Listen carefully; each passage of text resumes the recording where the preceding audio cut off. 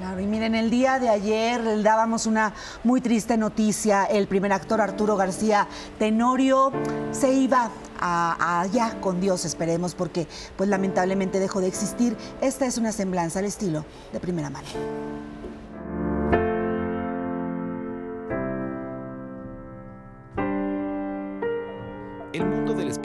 Se vuelve a vestir de luto con la muerte del actor Arturo García Tenorio, quien a sus 70 años falleció de causas que aún no han sido clarificadas.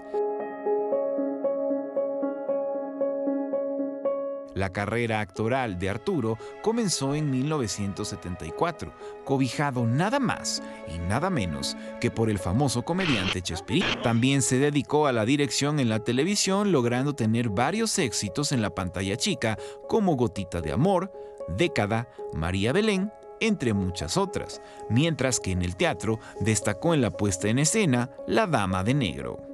La muerte del actor, que destacaba además por su estatura de 1.98 metros, fue lamentada en redes sociales por el productor Rubén Galindo, quien escribió el mensaje. Que en paz descanse mi queridísimo Arturo García Tenorio, gran hombre, gran amigo y gran compañero de trabajo mientras que en un mensaje privado a la prensa, Jorge Ortiz de Pinedo también se unió a la pena con el texto. Con tristeza y una gran pena, les comunico que el destacado actor Arturo García Tenorio acaba de fallecer a los 70 años de edad. Mi más sentido pésame a su familia, compañeros y amigos. Descanse en paz. La serie Más vale sola fue el último proyecto en el que participó el histrión, quien quedará perdurando por siempre en el firmamento artístico de nuestro país. Hasta siempre, Arturo García Tenorio.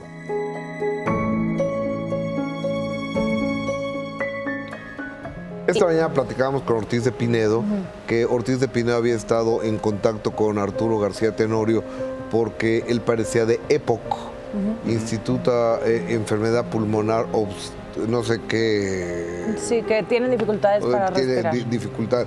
Entonces eh, le mandan una ambulancia, la anda y no podía respirar. Entonces, pues, tráetelo para acá a la casa del actor porque él vivía solo en la zona de la Jusco, que es una zona muy alta, más de 200 metros del nivel de la Ciudad de México, y eso le dificultaba a que regresara. Pues en el traslado se muere. Arturo García Tenorio, y finalmente, digo, son designios de Dios, pero hay que decir no al cigarro. O sea, una de las, imagínense nada más morir asfixiado, morir porque no te entra el aire y todo esto debido al uso, al uso y el abuso del cigarrillo. Enfermedad pulmonar obstructiva crónica. Ese es el EPOC y es justo como lo decías, 70 años, eh, él, estaba solito, quería llegar a la casa del actor y bueno, pues... no eh, llegó. No llegó, pero justamente el Flaco Ibáñez, Manuel el Flaco Ibáñez, gran amigo de, de Tenorio, pues lamentó su muerte. Tras la sorpresiva muerte del actor Arturo García Tenorio, varios famosos lamentaron esta pérdida. Consternado, Manuel el Flaco Ibáñez habló sobre este deceso. Que me acaban de dar una noticia de que mi amigo Arturo García Tenorio falleció. No sé, me lo acaba de decir un reportero. Y entonces soy triste y a la vez, bueno, pues agradecido con estos reconocimientos inmerecidos y bueno, aquí estoy. Y sobre todo porque hoy en día eh, los grandes actores desafortunadamente se nos están yendo. Pues allá vamos todos, hasta los buenos, grandes, regulares y malos, para allá vamos. Esperemos en Dios que nos siga concediendo la buena salud que tengo y este y pues a seguirle jalando, no hay de otra, ¿no? Todos estamos expuestos al tema de la muerte, pero ¿en algún momento usted se lo ha planteado? de la muerte desde que nací.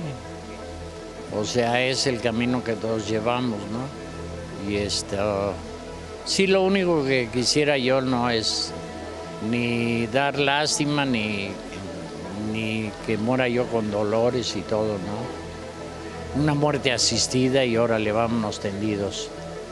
Como dicen eh, que uno pone, Dios dispone, pero la situación puede ser otra distinta. Sí, no, esperemos en Dios que, que no sea así, que sea todo cronológico. Y este, pero todavía nos sentimos muy bien, estoy sano, entonces ya sabes, sales a la calle y te cae un carro y bueno, ¿no? ¿Se ha preparado económicamente para un episodio como eso? Sí, bendito Dios, soy una gente que siempre he sido muy administrado y este podría decir que ya puedo vivir sin trabajar, ¿no? Pero mi pasión es trabajar, ¿no? Pero no siempre he sido, lo he contado, ¿no? Que desde que andaba yo en el reventón y todo, siempre me cobré, Manuel Ibáñez le cobraba al flaco Ibáñez el 20% de lo que ganaba. Y al correr del tiempo pues me ha resultado, me ha, me ha dejado buen dinero representar al flaco Ibáñez.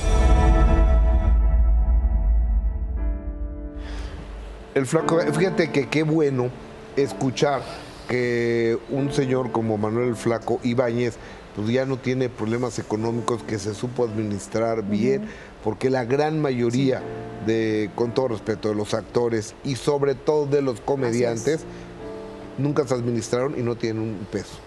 Claro. Sí, muchos grandes no han no se han ido como debieran, eh, han terminado en situaciones muy tristes, iniciando, por ejemplo, un ejemplo, José José Caray. Y aunado a eso tenía también, creo, problemas con la, con la columna, o sea, había tenido con la espalda ciertas complicaciones. ¿Quién, Arturo? Sí, y por más que la anda, pues también les quieren brindar el apoyo, también tienen muchos problemas. O sea, que no debería de ser, pero pues sí, no se dan abasto.